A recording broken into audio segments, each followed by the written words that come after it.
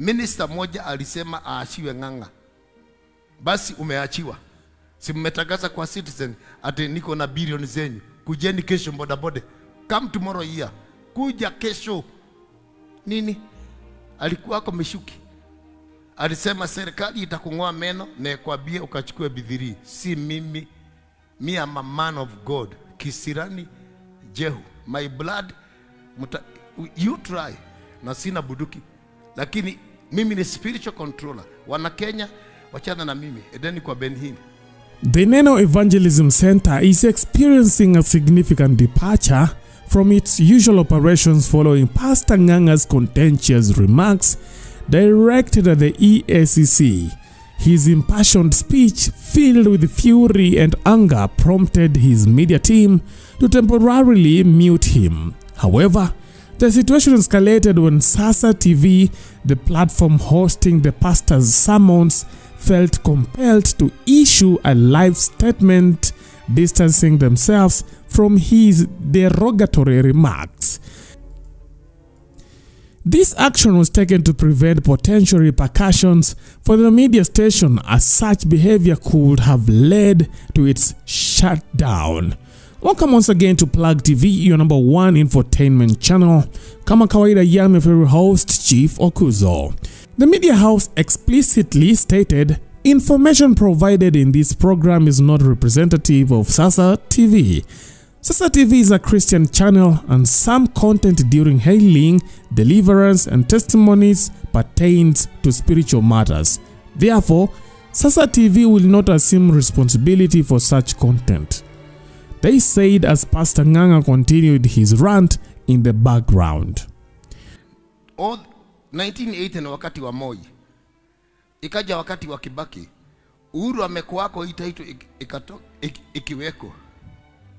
Mimi sikununua na Uhuru, ninunua 2004. Hiyo government zote zimepita. ICC ulikuwa wapi? Waiva Ndieno ulikuwa wapi? Umezaliwa leo ICC ati nimegrab nimegrab mama yako labish kill me.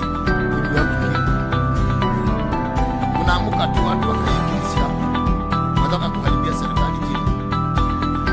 The controversy erupted when Pastor Nganga reacted to the EACC's legal actions seeking to revoke the title deed of the land housing his church. The ESCC alleged that the land was unlawfully acquired along with other parcels on Haile Selassie Avenue in Nairobi, originally designated for Kenya Railways Corporation. Reportedly, the Kenya Railways Corporation had relinquished some of these lands for public projects, including government buildings and road infrastructure. However, they are currently seeking the court's intervention to reclaim these parcels of land, since these lands had already been privatized. It was at this point that Pastor Nganga vehemently opposed the commission's move to involve the court. During a church service, Pastor Nganga issued a stern warning to the Ethics and Anti-Corruption Commission EACC, cautioning them against meddling in his affairs. He hinted at severe repercussions if they dared to encroach upon the land where his church is situated.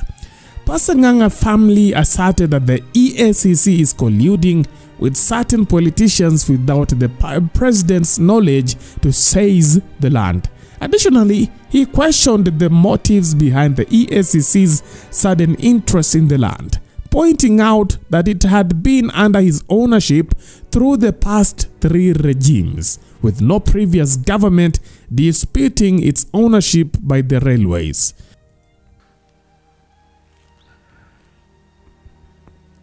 Let us go slowly slowly. Ukisikia na kusubua toka ije mkaugane na ICC. Nasikia wanasema niliiba Kewaja. We ICC, tafuta lika yako. Mimi si lika yako. Nataka kama nilika yako, mimi hatukusoma na wewe.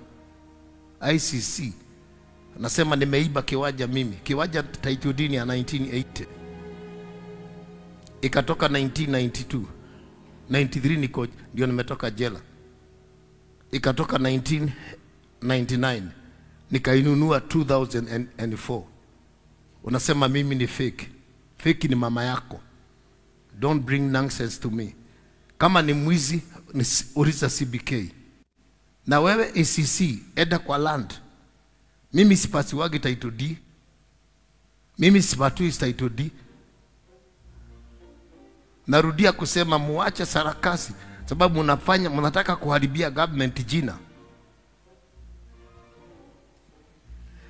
Nyinyi watu wa siasa mnataka kuharibia government jina, na kama mnataka kutafuta jina, kuharibu jina lingine, si hapa hapa.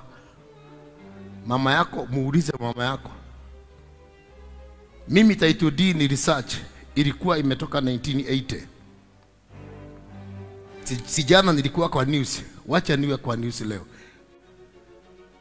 1980 all, 1980 na wakati wa Moi, ikaja wakati wa Kibaki, Uhuru amekuwako, hii ik- ikiweko.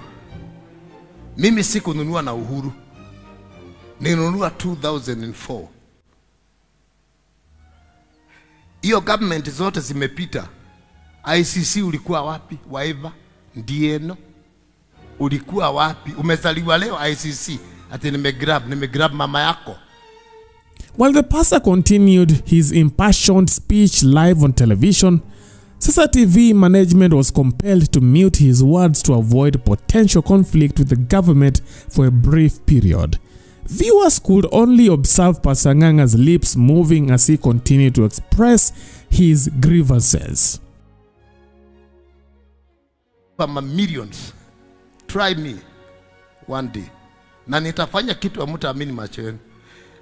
Kama mi nafanya hii kazi ya deliverance na nyinyi wakubwa mnanisubua utaona vile nitakutumia vitu. Mtaona vile nitafanya na hautajua kama ni mimi nilisikia harufu ya, de, ya moshi. Sijui ni ndege ama ni gari mtu ameshomekea ndani jana. Na kama hamujajua mimi si pastor mimi si bishop.